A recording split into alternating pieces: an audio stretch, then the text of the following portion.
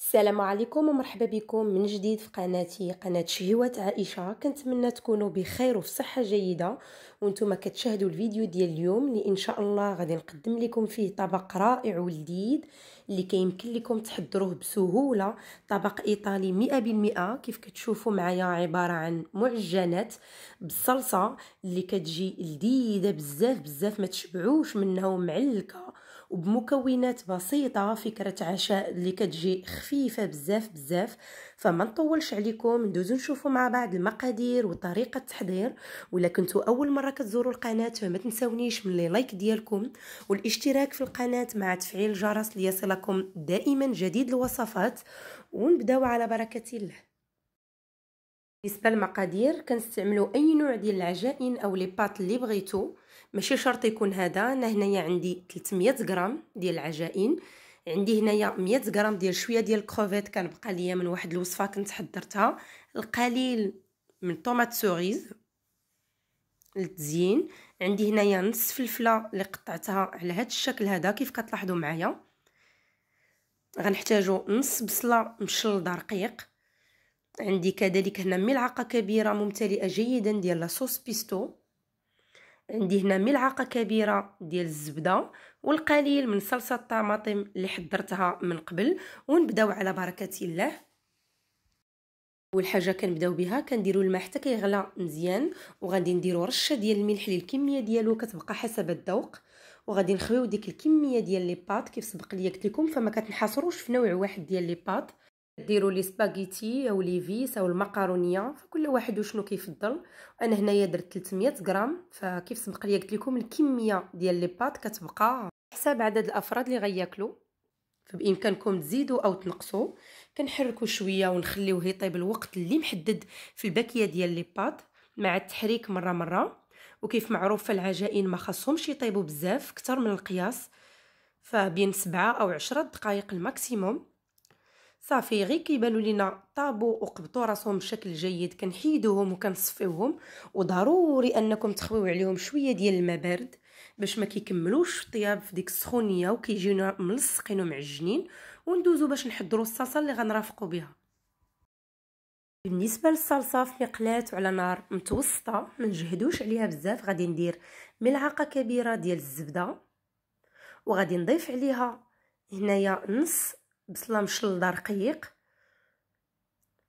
وغادي نضيف عليها كذلك فص ديال الثوم اللي غادي نعصرو على هذا الشكل هذا.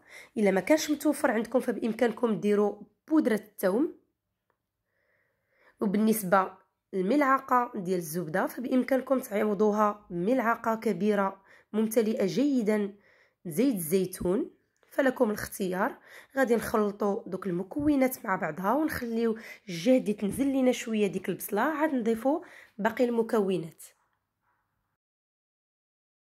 لما تشحرات ديك البصلة غادي نضيف عليها هنايا 100 غرام ديال القمرون أو les crevettes. اللي كيبقى اختياري بإمكانكم تعوضوه des petits morceaux ديال الدجاج ديال الصدر ديال الدجاج مقطع رقيق. نسم هنا بالقليل من الملح.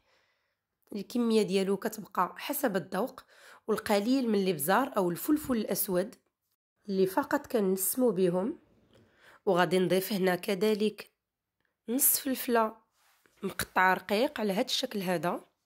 كانت شاط ليا تبقى في الثلاجه ما كاين لاش تضيع وغادي نضيف كذلك ملعقة كبيرة من صلصة البيستو اللي كتعطي واحد المذاق رائع لي بات وغادي نضيف هنايا القليل من صلصة الطماطم.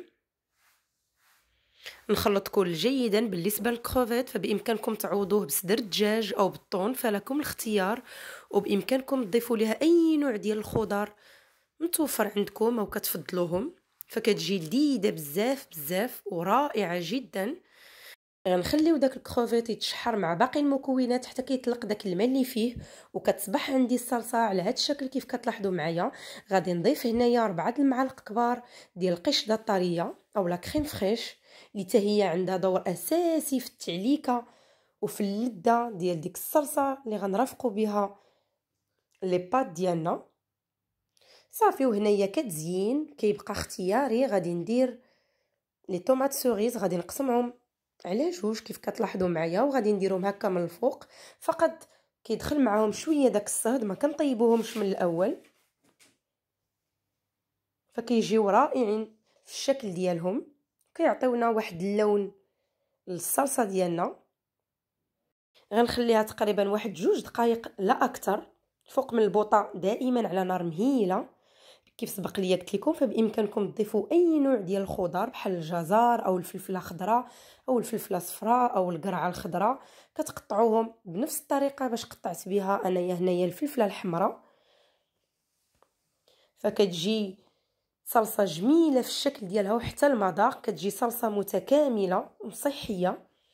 صافي غادي نخلي الكل تقريبا جوج دقائق لا أكثر فوق من النار. دائما كيف سبق لي قلت لكم مهيلة. هنايا كآخر إضافة غادي نديرو القليل من الفرماج محكوك اللي هو كيعطينا تعليكه رائعة للصلصة ديالنا. صافي وغادي نجيبو دوك العجائن اللي سلقناهم من قبل وصفيناهم خوينا عليهم شوية د الماء بارد باش كيتحيد منهم شوية داك النشا اللي كيكون فيهم. وكذلك كيحبسوا من الطياب. voilà من بعد ما سقطرناهم بشكل جيد غادي نضيفهم بهذا الشكل هذا فوق من ديك الصلصة ونحاول نحرك جيدا حتى تدخل ليا الصلصة بشكل جيد في دوك les pâtes وتماغينا مزيان معاهم. ونتلاقاو من بعد باش نشوفوا الشكل النهائي ديال les pâtes ديالنا.